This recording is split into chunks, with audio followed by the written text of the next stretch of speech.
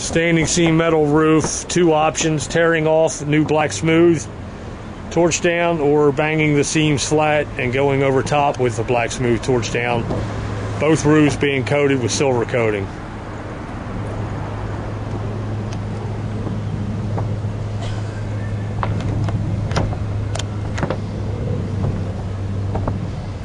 What's the name of this road? Your road, 15? It's, it's Logan Circle. 15 Logan Circle.